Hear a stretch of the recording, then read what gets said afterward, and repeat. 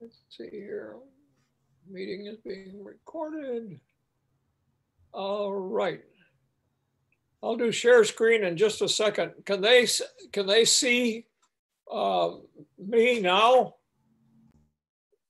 Yes. Yep. Okay. Right behind me is a is a stove, a kitchen stove. And this morning we discovered mouse tracks on the kitchen stove. And these are from the white-footed deer mouse, which is a wild mouse that lives outside of the house. But this time of year in the fall, they very commonly move into shelter to pass the winter in some place like inside a house or a cave or other kind of thing as active mice rather than becoming dormant.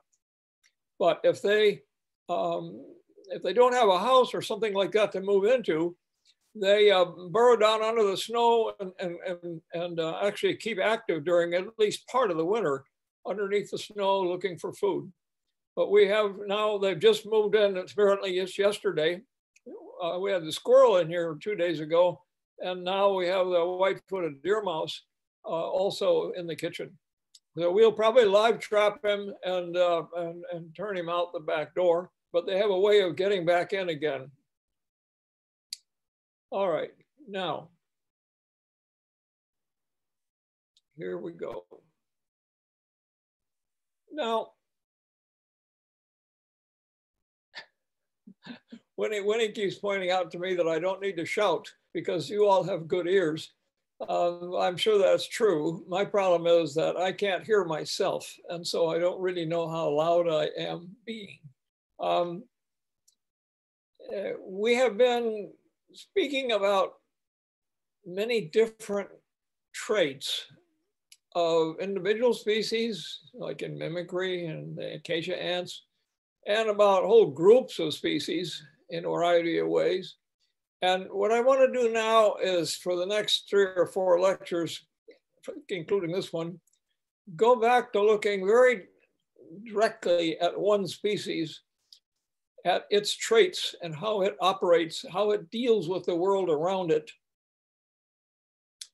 as a kind of a, I don't want to call a model animal, but certainly these are the kinds of things that all animals have to deal with in one way or another. So as I said here, it's uh, how they solve their problems. Now, um, it's a rodent that we're talking about.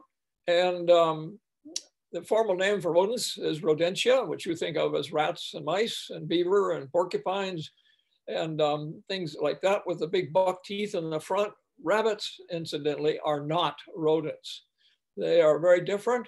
Um, but they've uh, independently evolved the front teeth that kind of look like uh, rabbit, let me assume you kind of look like rat and mice front teeth. Um, anyway, that's the, the order for them, rodentia.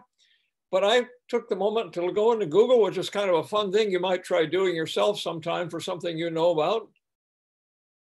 And looked up the origin of, tried to figure out the origin of this word rodentia. Um, it turns out that in, in, uh, in English, we say gnaw for how things chew into things. Uh, the German word is nagen, and the Old English word is gnagen. So you can see where the GN here and the GN there are related to each other. And the progression probably is for, for gnawing, for the word gnawing, which goes with rodents because Latin is rodere for gnawing. Uh, and um, uh, roer is Spanish for to gnaw. Uh, and so you can see how these words are related uh, to this. And um, I guess the last thing to mention here is that uh, um, the reason why uh, Latin word, the Latin language is chosen to use for scientific names is, is that it doesn't change or not believed to think of, we think of it as a dead language that does not change, uh, which makes it easier to keep, maintain these, these relationships. So here's our rodent. This is the name for it, uh, salvini. We'll see it in just a moment. And it lives in this family, Heteromyidae here. And um, today, the proper name for this animal is Heteromys salvini, because taxonomists have decided that this genus, Liomys here, Da- and another Dan, genus, Dan, you haven't shared your screen yet. You're not sharing your screen. I'm not sharing my screen. Hold on a minute here. Let's see. Hmm. Let's see here. Sorry, I thought I had. Okay, there we go. Now are we sharing it? No, still not. Yeah, yeah, you can. You're you're sharing it right now. We're, we're okay? Yeah. Okay. Um, oops, backwards here. Um, this is a slide I was showing before, just talking about, speaking to the fact that we're talking about a species and how it solves its personal problems. And the species is a rodent in the order Rodentia, and that re- relates to ro- ro- rodere, which is the Latin word for gnawing. And I looked up gnawing to see where how this thing fits together. Uh, and our word gnaw, which is what rodents do, they gnaw into things, um, comes from Gnagen, which is Old English, which comes from German, which is Nagen.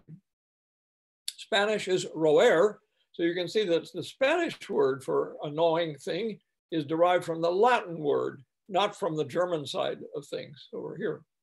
Um, so now here's our animal, Liomys salvini, and um, it's in the family Heteromyidae. And um, this is the name that if you look up, up in, in Google, you'll look up Liomys salvini, you find many, many, many, many references. The animal's been studied quite a bit. Um, but very recently, its name was changed to Heteromys salvini. Now, why is that? It's because somebody, this is the family that it occurs in, Heteromyidae. So somebody decided that the genus Liomys and the genus Heteromys were not two separate genera, they were just one. So taxonomically, the taxonomists take and join the two, and the older name is the one that persists. So what you know is that Heteromys is an older name than is Liomys. So Liomys then just disappears. But of course, it doesn't disappear from Google. It doesn't disappear from all that literature. It doesn't disappear from people's minds. So now we have this confusion out there. If you look up Heteromys salvini in Google, you will find many, many fewer references than if you look up Liomys salvini, because Google doesn't make the connection between Liomys and Heteromys, okay? So that's the kind of taxonomic tangle beside, behind the mouse. Now, this is the mouse itself. Now, this is a completely wild animal. As you can see, it's sitting on, on one of his hands. It's, it's, for me, a very strong um, indicator of personal variation amongst individuals in the wild. We've trapped thousands of these individual animals with live traps to turn to mark them and turn them loose. We'll see that later on. Um, and this particular animal stood out as being extraordinarily calm. It's not a pet. This is a wild animal, but simply was not bothered by being picked up and handled. So you could hand this animal to another person who can hand it to another person who can hand it to another person. You could reach into his cage, pick him up, look at him, put him back again. And of course, that's that kind of genome-based behavior that the Wistar Institute across the street from the big dormitory on campus um, used that, that sort of genetic information used to breed the Wistar white rats that you would use today in the laboratory, which are very friendly animals and very easy to handle and very easily passed from person to person. And th that's obviously not a kind of trait that allows you to stay alive in nature. But this particular individual is one who did have that trait. And this, this really stood out because you could just take it and, and, um, and do anything you wanted to it. It didn't bother her at all. Now, if you look at the mouse herself, you see several things that um, relate to, to what's going to evolutionarily happen to this mouse, or what did evolutionarily happen to this mouse. For there's a long tail that you see here, And then you see a, a long hind foot planted very firmly right there. You don't see the front feet at all. They're just little tiny feet hooked up underneath her head right in here. And then all this bulk that you see right here is muscle. That's the muscle for driving these hind feet. So this mouse is an incredible jumper. So you see one of these guys in the dark at night with a flashlight and you put your hand down and you think you're going to catch him with your hand and you put your hand down just three or four inches above his back and suddenly drop your hand fast, you don't even touch the mouse. Somehow it feels the air coming from your hair, hand underneath your hand, hits that back, and it jumps out from underneath it like a kangaroo would spring. And you don't even touch, you don't even get to touch the mouse. They're incredibly good at escaping that way. Um, big button eyes that you see right here. And if you were looking at it from the side, you'd see that they bulge. They're like domes sticking out. That's a sign of a nocturnal animal. And so it can take in light from all directions and, uh, and, do, and be able to see something in the dark. Okay. Big ears, and the big ears are for hearing things like an owl approaching in the light or a cat approaching in the light or a snake approaching. Um, and, and, and so this guy is set up for escaping. And furthermore, this name, Liomys here, mice means obviously mice, all right? M-Y-S is obviously derived related to the word mouse. Um, Lyo means smooth or slippery. And if you hold one of these and you try to hang on to them, it's just like grease because the hair is very, very, very slippery. It's not greased. Let me back up here. Whoops, sorry, wrong way again. Um, the hair is not greased. It's extremely slippery, which of course is another way of escaping from an animal, a predator who's going to grab you. Okay. Now, out of that animal in tropical dry forest in Costa Rica evolved this guy. This is what you know as a kangaroo rat. This is from the southern, from the southwestern US. And here's the same old big feet that you saw uh, before on the Liomys. Here's the little tiny front feet that you see here. And here's this great big chunk of muscle right here, which is what drives the jump for this thing. And then there's the long tail. The long tail is for balance. When this, remember when we were talking about the dog that had lost uh, two legs in, in Africa. And I said that the tail was always in motion. Well, the point being is that that's part of the balance when you're moving and jumping and dodging in the air is this tail on the back end here. It goes one direction, your body goes the other direction. Well, the, the little Liomys mice do the same thing, but this thing has evolved a bigger, fatter tail with a big tuft on the end of it, almost like a, a, a, a um, propeller or a, um, a shovel. Big sensitive ears for hearing animals come in. And to give you an idea of how good these things are from uh, escaping, they live in deserts where there are rattlesnakes. And rattlesnakes, of course, eat, uh, eat uh, Dipodomys, kangaroo rats. Um, well, some people have done experiments, and I was just looking at an experiment on the on Zoom, the, uh, uh on, on YouTube, through uh, through Google, and um, they did experiment with a with a with a uh, rattlesnake, and it struck 23 times at one of these mice, and 22 times it missed. In other words, the mouse could sense the strike of the snake coming fast enough to use these big feet put on the ground and the big muscle behind to jump away from it. And um, the one time that they caught the mouse, only one fang just got in a little bit and not enough to um, not enough to kill the mouse with the venom, which of course also implies that the kangaroo rat here uh, probably has some um, uh, immunity to, uh, to rattlesnakes who live as the regular predators in their own world. Now here's one in the, this is the Liomys in the wild. And what you're seeing here is a big fruit on the ground with a very hard rind on the outside. And um, you can see these two scars here in the tip. This was done by a big rodent who chewed a hole, tried to chew in there, and then actually chewed a hole in here. And so what this mouse is doing is trying to get the fruit and seeds, which are inside of here, that was opened up by the bigger rodent, right?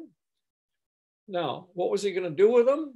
It's a seed predator. This guy is a, is a specifically a predator on seeds, on baby trees, if you like. Now, this is the kind of photograph that you see in National Geographic or in pretty posters or something where you see the animal as a portrait and as doing something. And that's the way you would, if you if you go in the literature, that's what you, the way you see Liomys salvini. But that is not really Liomys salvini. This is Liomys salvini. This animal is nocturnal. Everything it does is in the black dark. Well, there may be a little bit of moonlight, a little reflected starlight, but basically it's in the full blast dark. So what you now know is that his sense of hearing is extremely good. His sense of smell is very good. Has a very strong orientation ability in the black dark. And to give you some idea about that is, as you will see a live trap a little later on, uh, we live trap thousands of these things. And in the beginning, um, I did not grasp how much they understood of their world effectively as though they had their eyes shut. And um, so in the field, we would take them out of the live traps, mark them or look at them and let them go. And what I discovered was I could throw one in the air, two meters in the air, he falls and lands on the litter. When he hits the litter, upon bouncing on the ground, he runs in a straight line down a hole and out of sight. So you think, well, okay, he knew where the hole was. So he, you know, that's entrance to his underground burrow. You just say a mouse two days later. And you throw him in the air two days later. And he lands on the ground. But this time he goes in quite other direction in a straight line down the hole. You catch him again two days later and do the same thing, and you discover that he knows from the moment he hits the ground, confused, dropped on the ground from up above, from the moment he hits the ground, he already knows five or six different holes that he can run in a straight line to, like a billiard ball going across a pool table. And um, so he pointed us, he knows that world in the black dark. So he can do that same thing if an owl or a snake or a fox or a cat is chasing him. Now here's one that was hit by a car, it's roadkill. And let's take a look at the whole animal as a whole. It weighs about seven, this thing weighs about 70 grams. Let me get my pointer back here. Weighs about 70 grams and um, lying on his back, obviously. And uh, we'll, we'll focus in on the head end here in a, with a couple more slides later on about how this part of his body is modified to be a seed predator. But back at this end, what we know immediately is that this guy is in full reproductive state. Now, you know, you think of dogs and cats and people and cows and horses as reproducing all year round, but most animals do not reproduce all year round. They have a particular time. So this animal, immediately looking at the photograph, you know that he, he is in his reproductive time because here is one testicle right here. Here is another testicle right there. They're inside his scrotum. When he was not reproductive, these two would have been pulled up into the body cavity where they're hot from his body. When he gets reproductive, they descend down into here where they're cooler. So that keeps the sperm alive. And then the sperm is stored in the epididymis, which is this sac that you see right here. So that's full of sperm, ready to impregnate a female. When he's not reproductive, the whole thing slides upwards and shrinks up into here. Okay, that's the back end. Here's the big legs, the big feet I was talking about. The big, the big drumstick well here with a lot of muscle on it, and all this through here is muscle. And uh, then this much smaller thorax with the small feet here in the front. Let's take a look at the head. Now think about this for a moment. What are you looking at? You're looking at his incisors. You see the two right here and the two on the lower jaw right there. Think about that. Can you do that with your mouth? Can you close your lips behind your incisors so that your molars and the rest of your mouth are not exposed. No, you can't. This is a specialization that allows him to chew into things, sticky things, toxic things, juicy things, whatever they happen to be, without having them in his mouth. So he, they're, they're basically cutting tools where he can chew into something and then decide whether he's going to eat more of it or not. And that piece then he takes into his mouth. So this is something, this is a very special adaptation of rodents which allows them to cut into all sorts of things, chew holes in your wall, chew holes into a container of food, uh, chew holes through wood and, and, seed pods and the fruits and all kinds of things. Um, and it's a very special trait, which is very different from the front end of other animals, which we'll look at uh, later on. Of course, here's his nose over here, but you see these whiskers, very, very long, way, way back to there. And they, when he's there and dead like this, they're just back here in a kind of a relaxed state. But when this guy is running around in the dark, these whiskers are sticking out in front like buffers. And if they bump into something, he doesn't hit it. In other words, they're his early warning as he moves through the dark. And we had a pet, much bigger rodent like this, who could run full blast through a house with chairs and tables and walls and all kinds of things in the black dark with his whiskers out in front and never hit anything. now, the second thing to see here is the pouch. See this one right there, one right there. Here's the pouch turned inside out. So I just reached inside and pull it like, like pulling your pocket out and turning your pocket inside out. So what you can see is that over here, there's a big, a big space inside of here. Notice that it's hairy on the inside that tells you that it's an evagination from the outside evolutionarily. In other words, you didn't make that by eating more, having more inside his cheeks, because that wouldn't be any hair there. Okay? Just like you, you don't have hair on the inside of your cheek. So if you expand your cheeks to carry things in them, they would be hairless. But what this thing has done evolutionarily is develop from a, a, a, pocketing in from the outside which has become then the pocket for carrying things. So what does it carry? Here's another roadkill, different one. And here's the pouch. It's a full with a full pouch.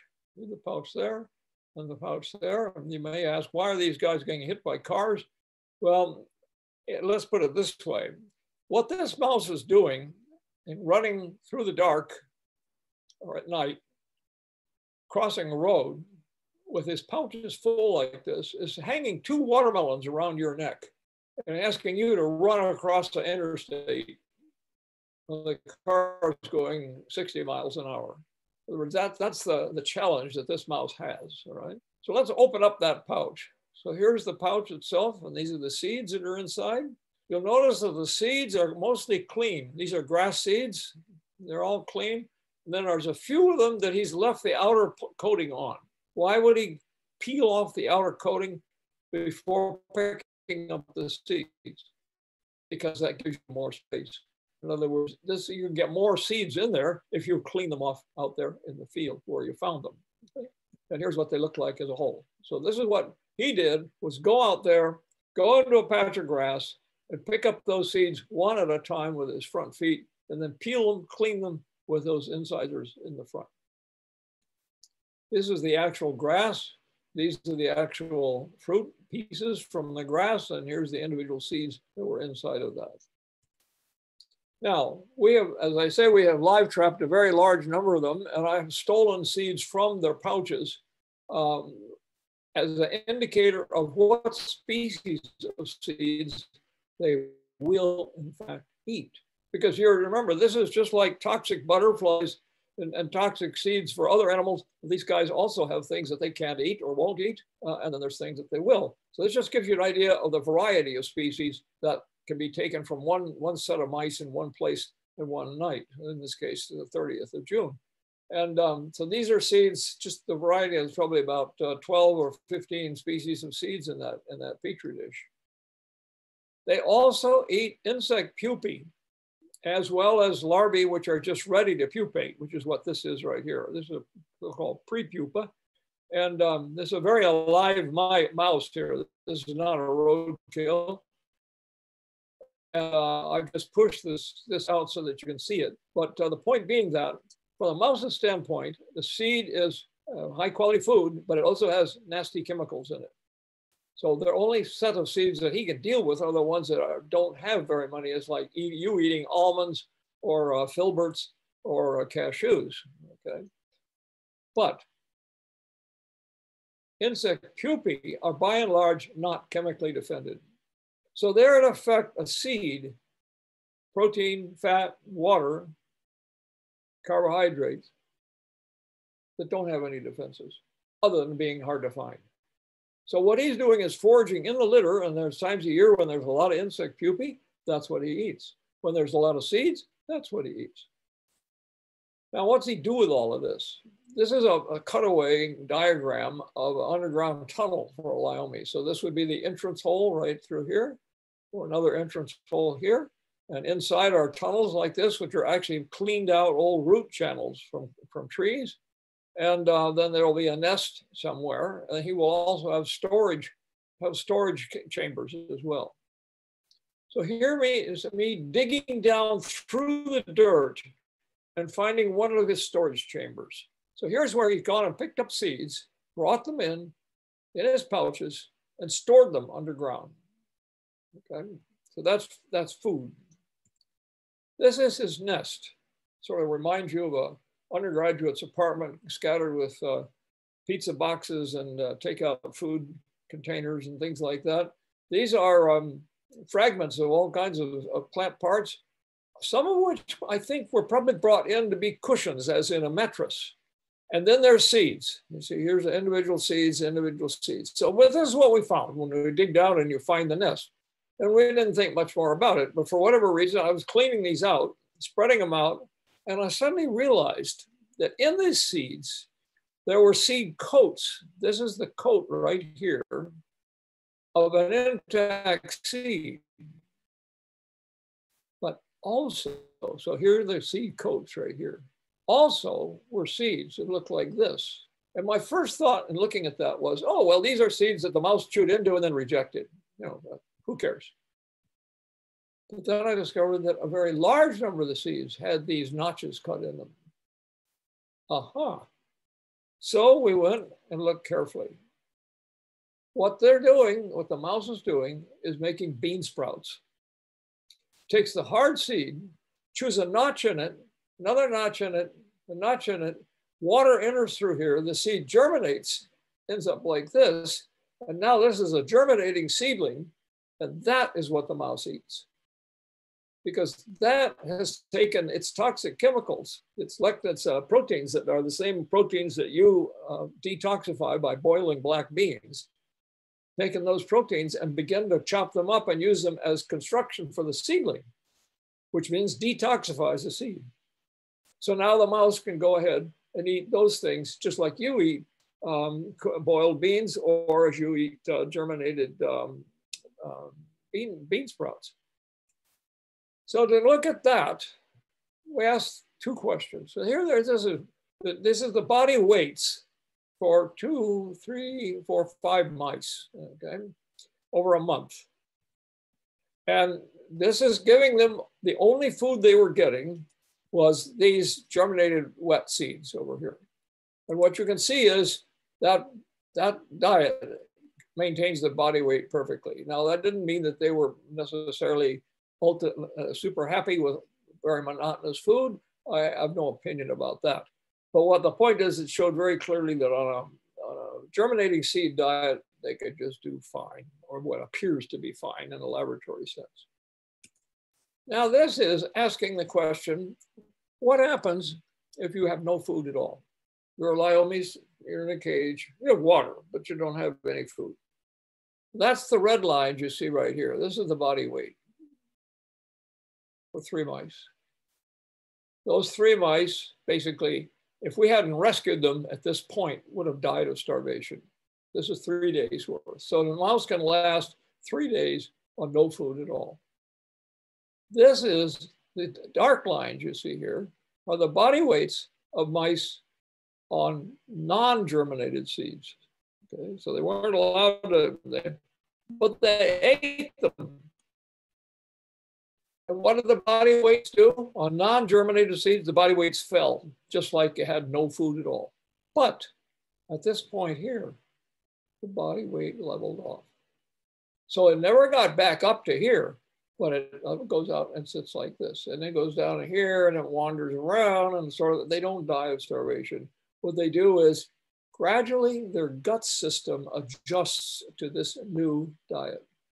And it's the gut system, and microbes in the gut, coupled with the ability of the liver to degrade the nasty things that are in the dried seeds, the non-germinated seeds. So this is just one way of very crudely in the field getting at the question of why are they notching seeds? So what we discovered was that they notched all kinds of seeds. So here are three different species put in the same thing. They all notch all of these. And then the question was, well, are they, um, do they learn to do this?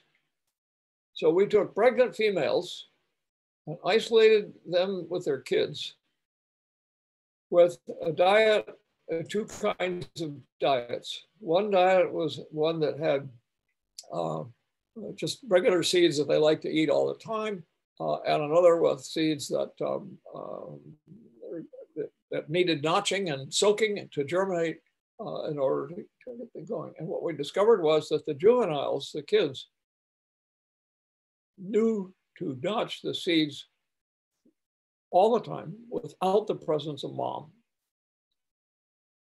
And the even notched buttons, plastic buttons, and they tried to notch nickels, as in the coin nickel. In other words, they a small hard object, they understood to notch that and then leave it on moist ground, which is of course in the nest. The dirt that the nest is in is moist ground. Okay.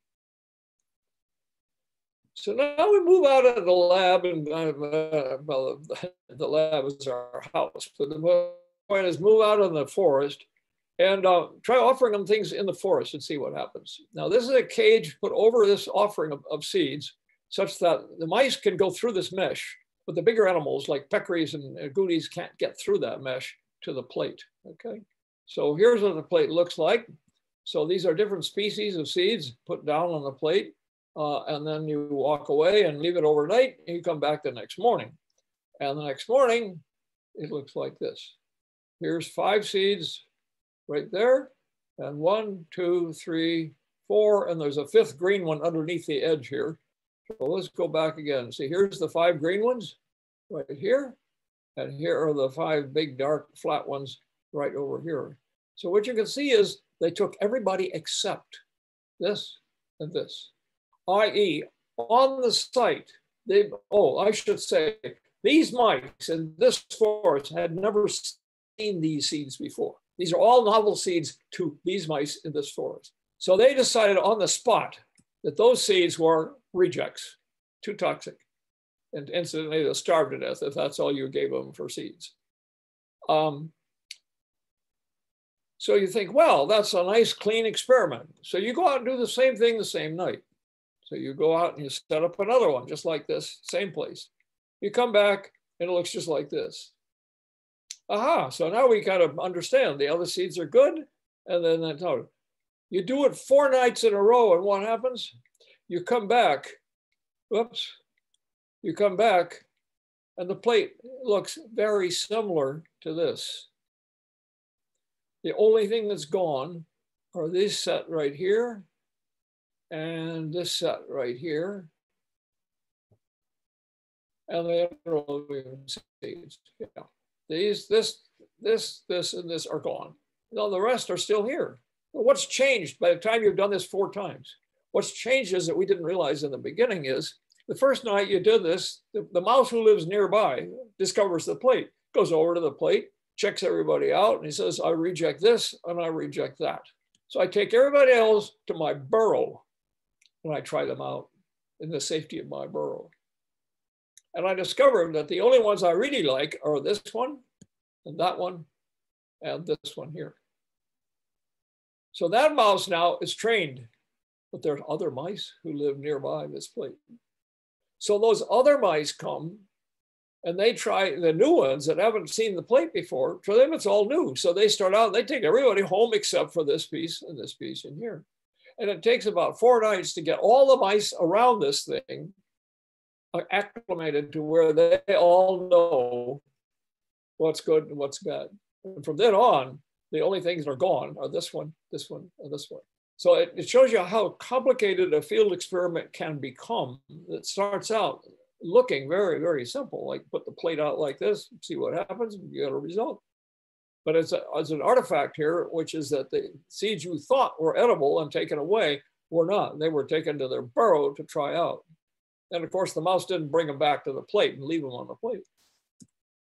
Now, the forest has a number, a lot of species of trees in it. And this particular tree is a big wind dispersed uh, fruit. You can see this is a, a 15 centimeter long ruler up here for scale. So this is a big fruit. And inside the fruit are seeds like this. And what strikes you about this is these wind dispersed seeds are scattered all over the forest. The ground is just paved with them in some years.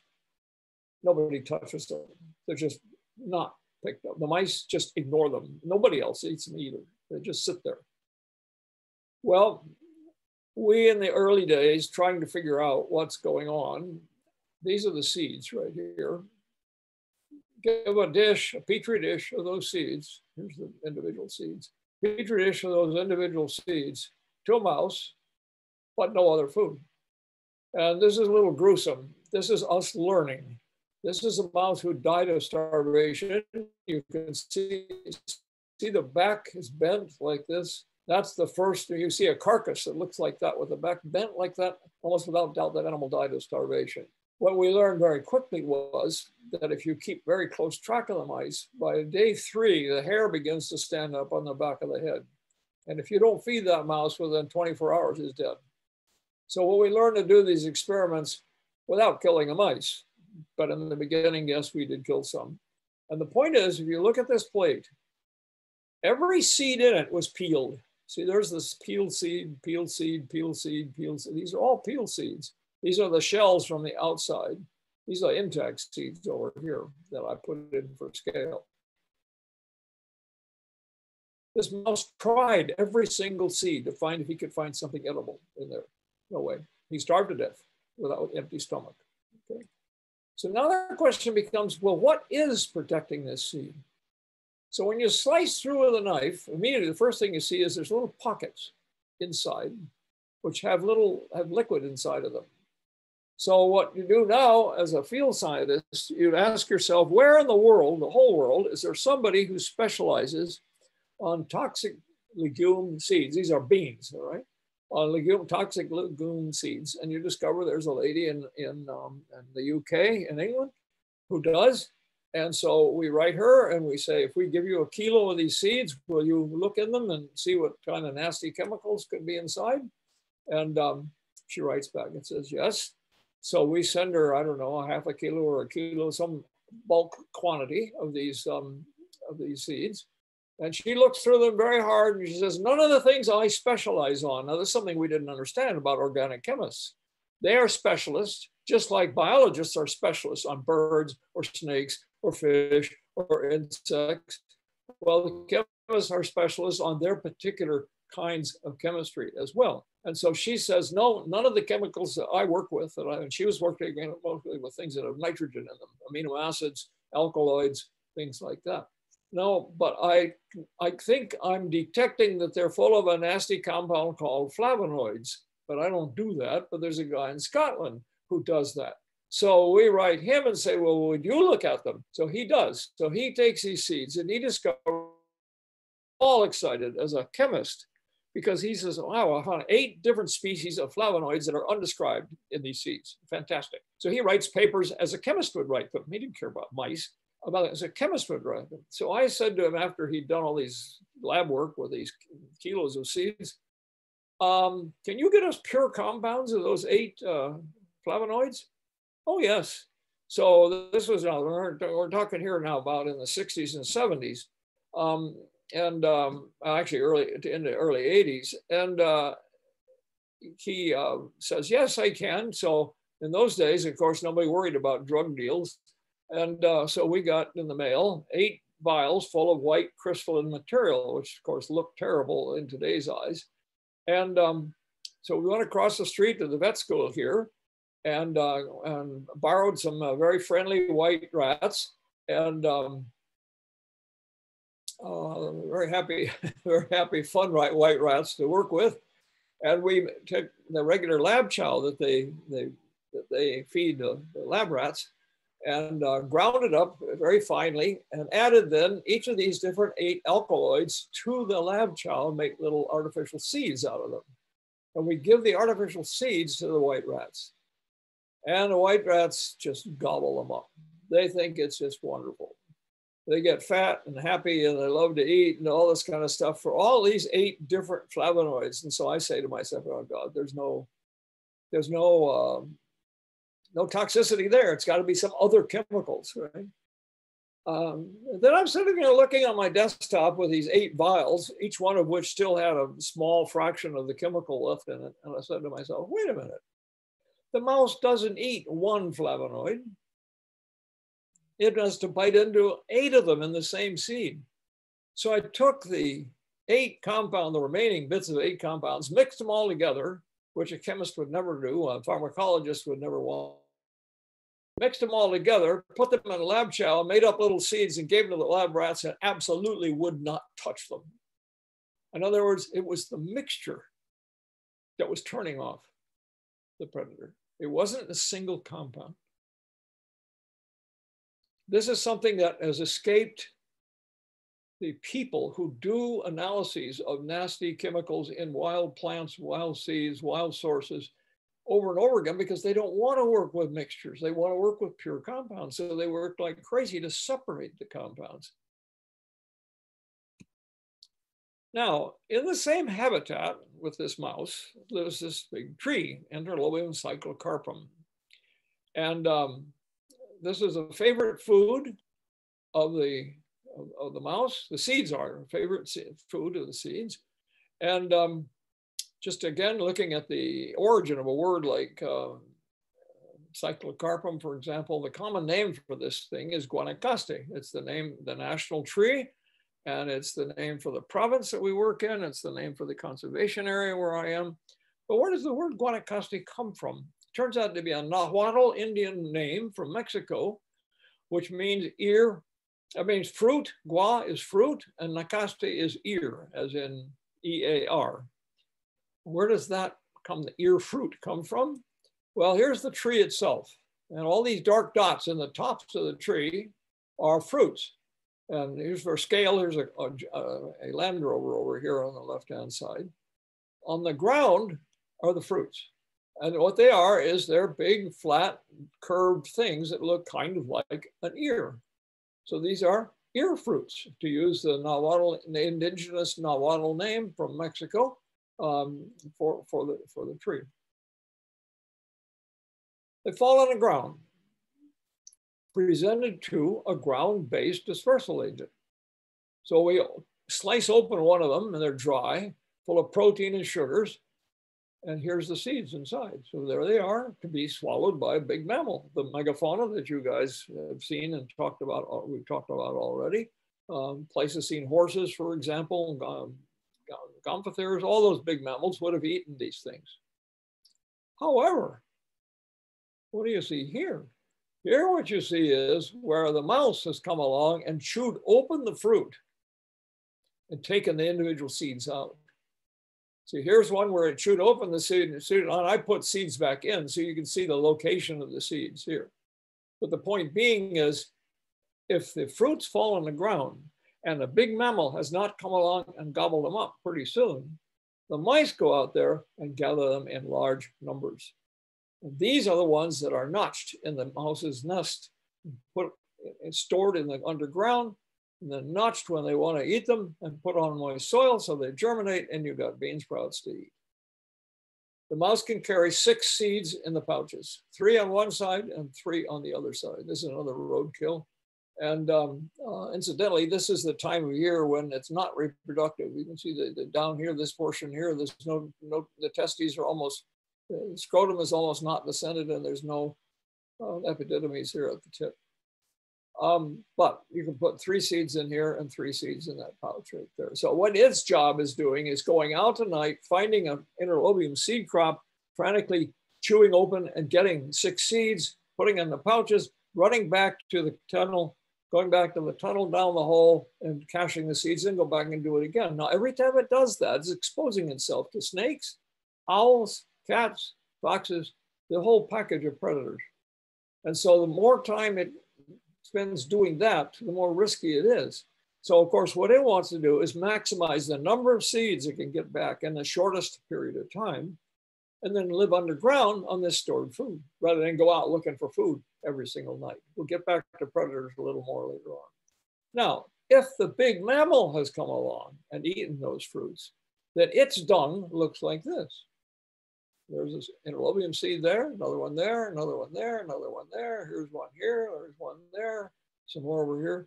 So there might be 10 or 15 seeds or 20 seeds in this piece of, of in this particular case, diuretic horse dung on the, on the road.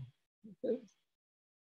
So my thought was, well, this was before I understood the full relationship between the mice and the, and the, um, uh, and we decided we wanted to grow a bunch of these trees. So what we did was the horses eat the fruits. So what we did was make artificial horse dung. So here's fresh horse dung here with seeds put in it like this and then filled over on the top. So now we have about a kilo of horse shit with sitting inside of it, 15, 20, 100 seeds, whatever number counted. And then we go out and plunk that down as though a horse had passed by. And here's the artificial horse dung. So this was the naive beginning of an experiment to, um, uh, to grow Enterolobium seedlings. Well, you come back three, four days later, and this is what you see.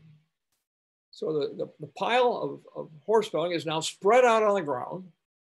And but there it is. But you don't see any little seedlings starting up from this. Hmm. Well, okay. So you come back a week later. And you look at it again, and still there aren't any. And then you get down on your hands and knees and really look closely, and you discover that in the horse dung are the shells of Enterolobium seeds. In other words, the mouse found them in the dung and ate them on the spot. In other words, peeled out the interior of the seed and ate it there and just dropped the shells. Hmm. And now we understand what's going on. The mouse comes out of his hole at night to go foraging for seeds. He puts his nose in the air and goes sniff, sniff. If he smells dung from any animal, he just runs in a straight line to that dung because that dung is likely to have seeds in it. So suddenly now seed predation becomes both looking for seeds and fruits that are just underneath the parent tree, but also going to animal dung to get seeds. So just because a horse has eaten that fruit and defecated the seed somewhere doesn't mean the seed is safe. So now we begin to ask questions about, well, does it matter where the horse defecated? Does it matter how big an animal it was? This is a mimic of elephant dung. Now, elephant dung comes in eight kilo packages. So if you want to, that's about 15 pounds, something like that. So this is like a big bucket full of horse dung with 100 or 500 seeds, Enterolobium seeds, mixed into it and dumped in the forest and dumped in open grasslands. This particular photograph is open grasslands. And here, what you see is, you see there's this big chunk in the center, which would sort of be the core of that dung. And then this piece is distributed around the outside here.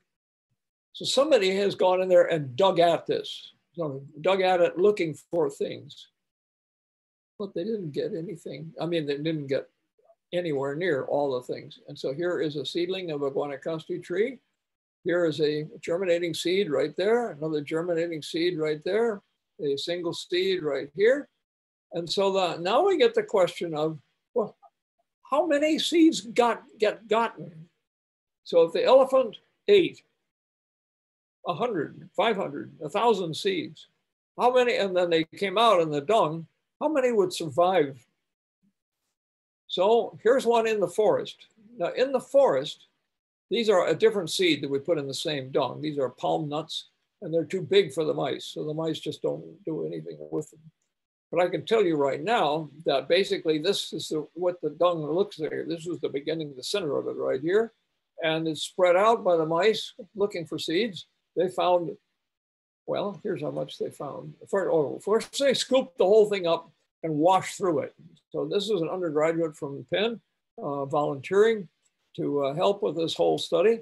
And um, you put them on a screen and then you wash all the dung off of it and then you count how many seeds you get. So in the forest, the forest, eight kilos of, of elephant dung with, um, with 500 seeds in it ends up with that many seeds surviving. In other words, that it was an elephant didn't save much at all. And defecated in the forest, that's lethal. In the grassland, here's what you get. This is out of one, this is the, the remaining seeds and, this, and the germinating seeds from one elephant dung in the grassland. These are only 10 meters apart. In other words, fine scale details because the mouse refuses to go out in the grass. Because in, in the grass, he feels exposed. In the forest, he feels safe. So he, he will run out there and dig a little bit and run back in the forest. So he doesn't get much of anything. So here you get this result over here. And here's what, uh, uh, what, it, uh, what the final numbers actually look like. In the grassland, out of a bunch of different ones, 77% um, of the seeds survived. In the forest, only 2% survived. So now you can see where evolution favors fruit characteristics that will dump the seeds in the right place. And part of being the right place is where the predators will find you or will not find you. In other words, that is I'm trying to what I'm trying to, to get across here is that the world is not homogenous. The world is not made up of sort of uniform decisions. It makes a huge difference where you are, how much dung there was in there, what kind of seed you are, as to whether the mice get you or whether the dispersal agents put you in the right spot. So let's ask this question a little more detail. This is cow shit, right? If you've ever worked with cows, you know that when it's fresh, you put your hands into that and your hands smell like cow dung for two days later, even no matter how much you wash them, right? It's very, very finely masticated, very finely worked over by microbes and um, very sticky. And then it dries down into like a really hard solid structure like you see here. This is horse dung. Comes in, in, balls like this, and you can take that ball in your hand and, and it's friable and break it open. It comes out in a lot of little tiny pieces. So now you put these down side by side in the forest. So the mouse then has a choice.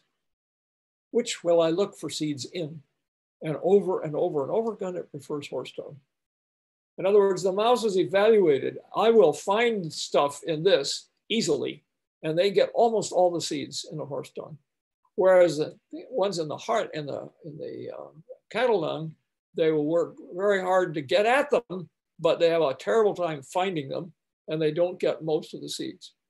So again, it's in which species ate the fruits then determines how effective the mice are at getting the seeds that they need for their food.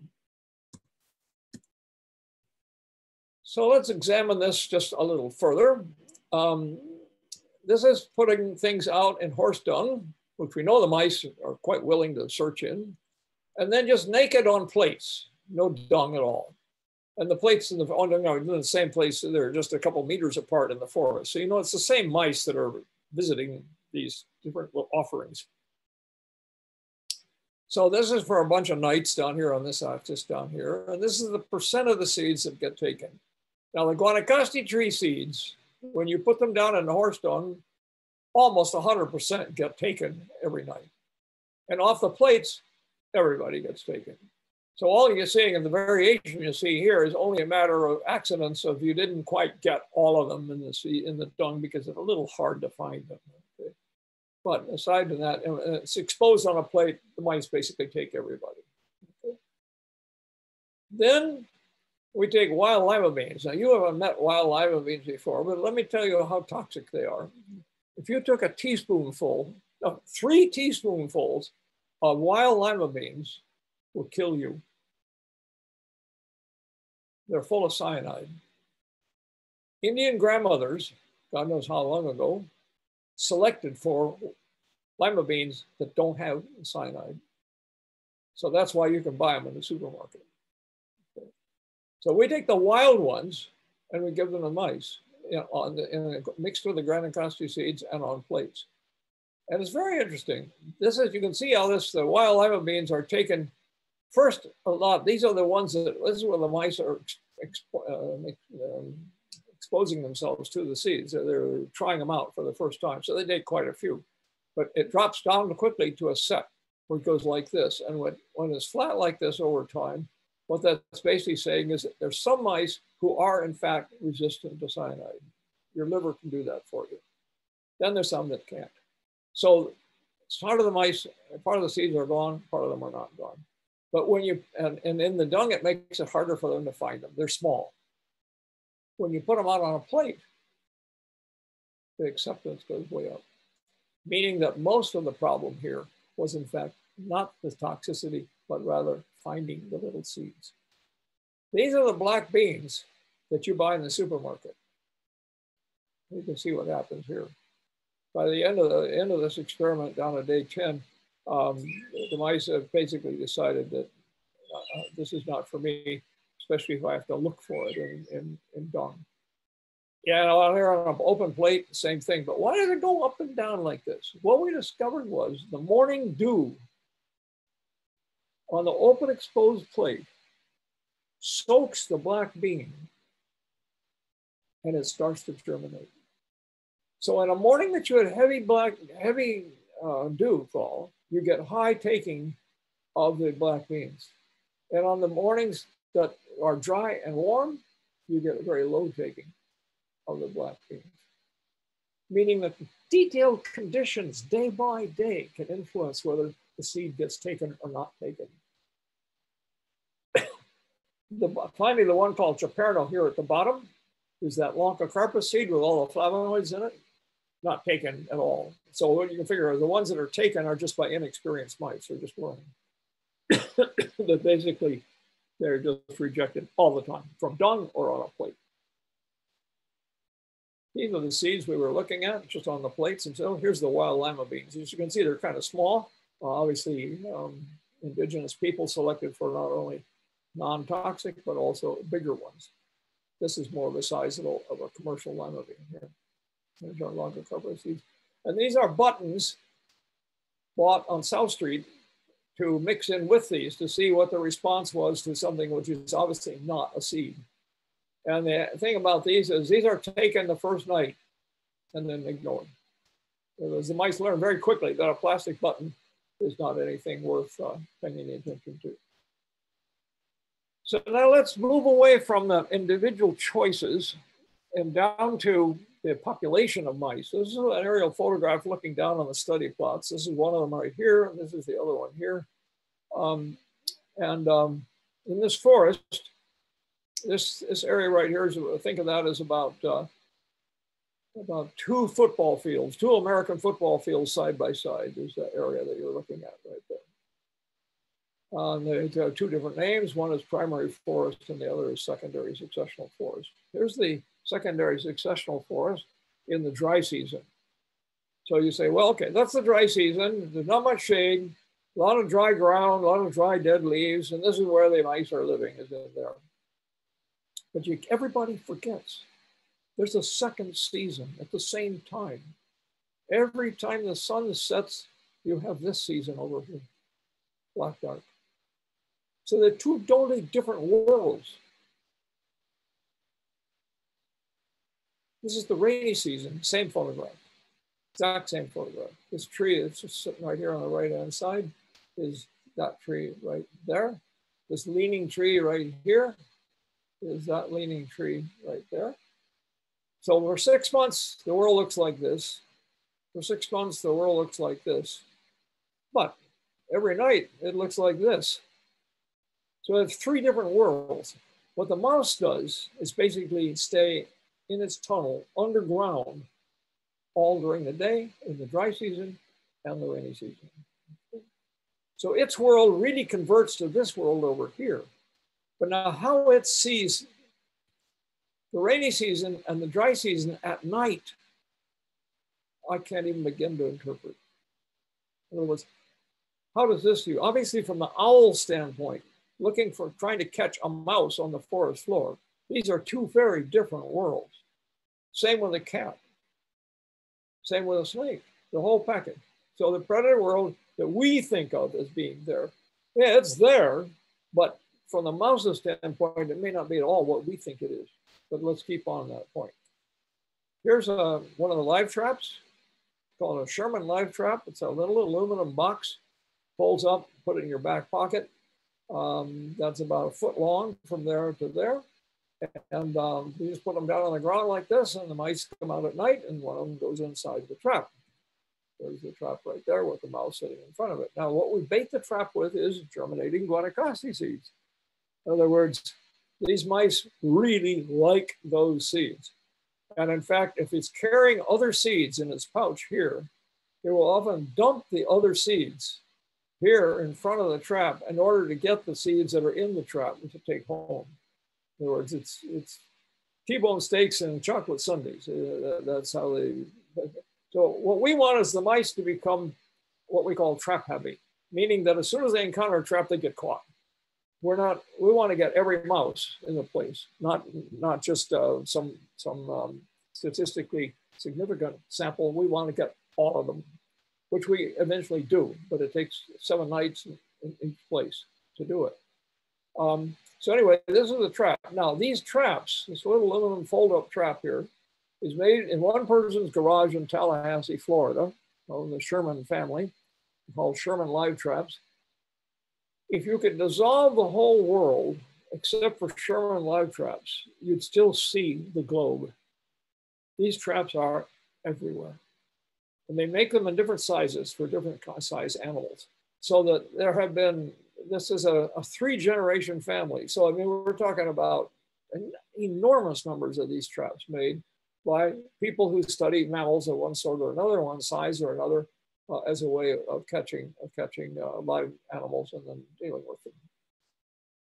This is a trapping crew at that particular time. So each one of these traps has got a mouse in it. So what they did was run out and run through 523 traps in the morning and bring all the ones back that have a mouse. So every trap is marked, so we know where it goes back in the forest. So they bring it back to the house. We go and weigh them, mark them, sex them, put them in their condition, all that stuff, and go back in the trap. Then these guys take them back out and turn them loose at the same spot. And the first thing we learned right away is when you turn a mouse loose in the daytime and you're waiting for him to run, go down that hole, you have to stay right there. Because if you don't stay right there, out of nowhere will come a predator and snatch that mouse in the daytime. Now you, you yourself are protecting the mouse long enough to get down his hole. So that way we don't lose him to predators. But if you just dump the mouse and walk away, there's a high chance that a predator, a bird or a, a lizard or a snake will get that, uh, will get that mouse. So how do you mark them? Well, first off, here's a very live mouse. He's uh, very happy to chew into my fingers. And uh, uh, he's uh, but a nice, healthy male. Here's a descended testes there. And uh, he weighs about uh, 60 grams, something like that. And um, he's being held that way in order to mark him. Okay. Now, traditionally, what mouse trappers do, mouse studiers, mouse demography studiers do, is cut off toes as a way of marking mice. Now think about that for a moment. This guy runs to escape from predators. He uses his hands for all kinds of food delivery and food finding. And you're going to cut off his toes? So I was very frustrated. We tried uh, salmon fingerling tags that you put on little fish and, and stuck them on their ears. And the trouble is when the mouse goes down that tunnel, the tunnel is tight and it rips the, um, the tag off the ear. Um, we uh, tried uh, a variety of other methods. I can't remember what it was. And then we visited the, um, uh, what the hell's the name of that zoo? Lincoln Park. The Lincoln Park Zoo in Chicago. And um, uh, they have a tapir. It looks like a big overweight horse, which I've forgotten whether you've seen one or not. Did you see one? I can't remember. Rufus. Rufus. Yeah, Rufus. And um, I was standing there admiring their tapir, and uh, somehow this question of uh, people stealing animals from uh, zoos came up. And I said, Well, how do you know that that's, that tapir is your tapir if it gets stolen? How, how, do you, how do you know who it is? And the zookeeper reaches over and turns the lower lip of the tapir inside out. And on the inside lip was tattooed a serial number. So the tapir had been tattooed with a number inside of his mouth. And I said, Where did you get the tattoo thing? He says, Oh, there's a company in Massachusetts that sells tattoos like for people. So I wrote them and I had to convince them that I wasn't going to make it doing tattooing of people, but they sold me a, a tattoo machine, um, which we could then use to mark the mice. So here's one. This is a very alive mouse being held uh, like held apart, and the, the, tattoo needle is going to come out of this barrel right here uh, when you apply it to the actual skin of the mouse right here, and uh, it's going to leave these holes. So this is a this is the number two mark here, and this is the number three mark. It's this pair right here. So this is one, two, three, and the top side of the ear is four, and the bottom side of the ear is five and um, on both sides. So with that combination, we've done more than uh, know, more than 8,000 mice individually marked, um, by, and that lasts the whole life. So what the goal here is you catch them when they're first out, three months old, four months old, something like that, and you mark them, and they're still marked like this a year later, two years, three years later, if they survive that long, of course, in the world of predators. Okay, so that's that's how we how we keep track of who is who. Now, once you know who your mice are in the plot, remember those big white squares I showed you in the forest, it's possible to mark the, what's called the home range of each mouse. So this is the home range of one mouse. That's 10 meters from, let's see, from there to there is 10 meters, to give you some idea of scale. So from there to there is 10 meters, from there to there is 10 meters, and so on. So this is one mouse. This is where he's been caught many times, all right? This one mouse has been caught many times there. This one mouse has been caught many times just there. So you think, aha, now I know the home range for each mouse because you've caught them over and over and over again. So I think this is what classical mouse trappers do all the time. So we figure out what the home range, we know how many mice there are in the plot, everything is all fine and good. Hmm. Was looking at this thing and dawned on me suddenly that, wait a minute, the mouse lives, let's just say right there. That's his home entrance. He comes out at night, puts his nose in the air and sniffs. He sniffs your germinating seeds in a trap. He goes in a straight line to your trap and gets caught. So that's where you think he lives. The next night he does the same thing. And he goes to this trap here, to that trap there, to that trap there, to that trap there. Pretty soon, that's his home range. But what about all this other space? You put seeds down out here, it disappears overnight. Who's eating them? So finally, the penny dropped. So what I did was close all the traps. There's 500, 529 traps. Close all the traps and leave open a set of traps just in this little octagon right here. And this one, and this one, and this one for one night. And that one night, we caught in this little square right here, that mouse and that mouse and that mouse and that mouse and that mouse and that mouse and this mouse and that mouse.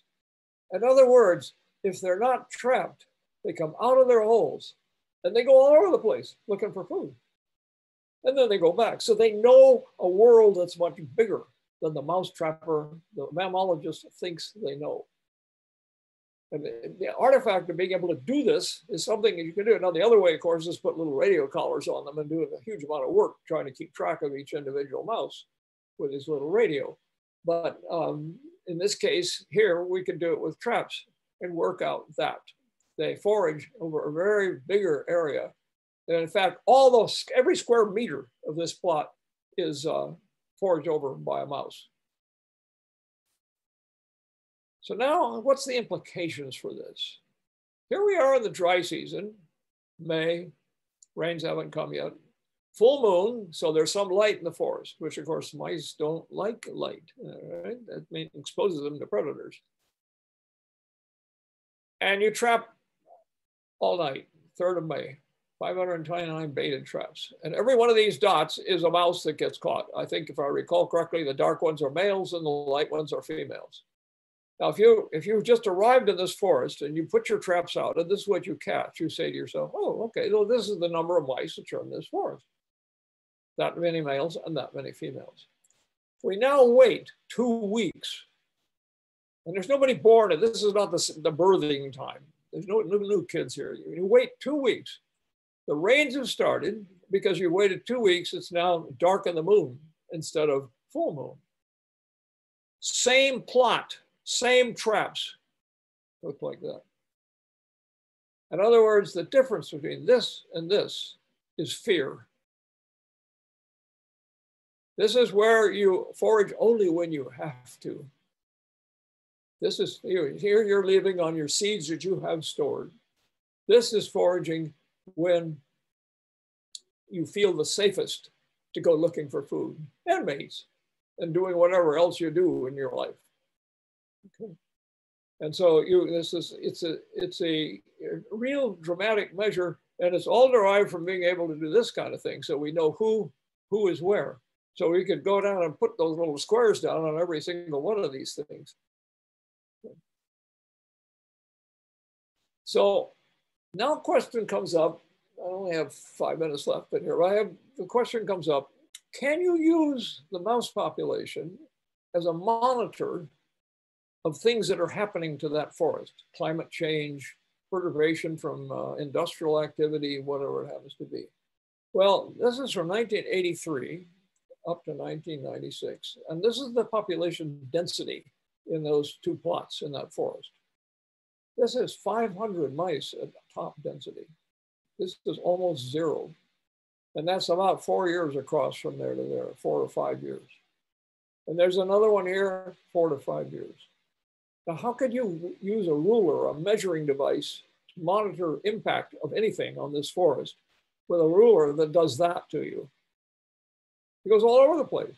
A high year, a low year, you wouldn't have any idea how that was related to the climate change or to whatever other wood perturbation that there was. Furthermore, when we hit 1996, the density stayed right here. Never went up again, but it never goes to zero. So the mice can hang in there at a very low density.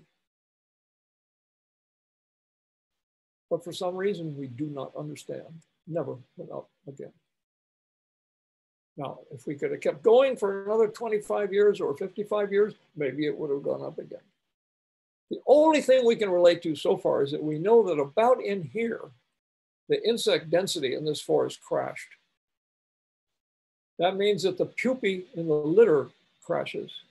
And the pupae in the litter in the rainy season are the primary food of the mice.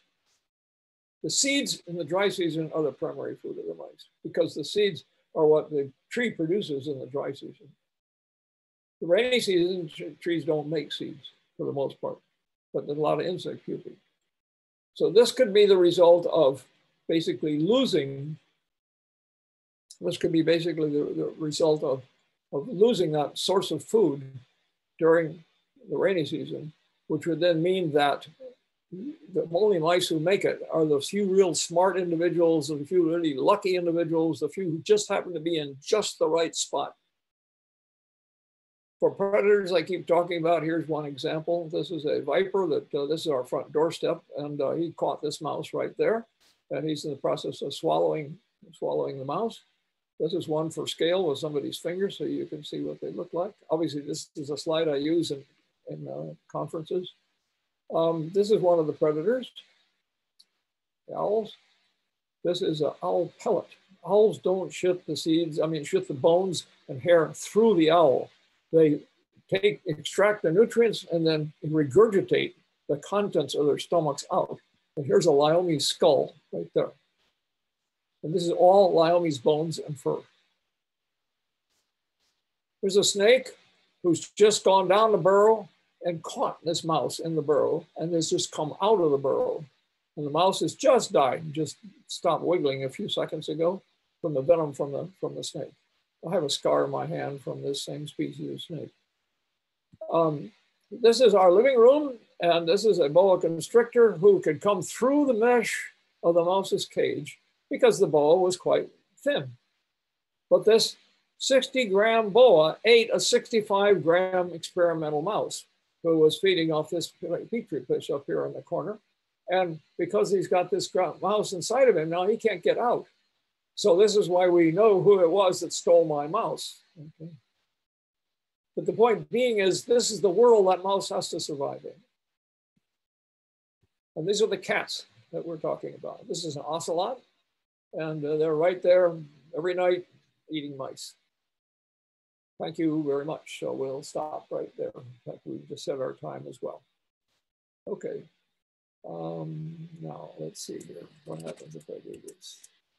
There we go. Now, how do I get us back? Were there any um, chats that I should try to answer? No. Okay. No. No. Okay. Fine. All right, folks. That's all there is today. Oh, here we are.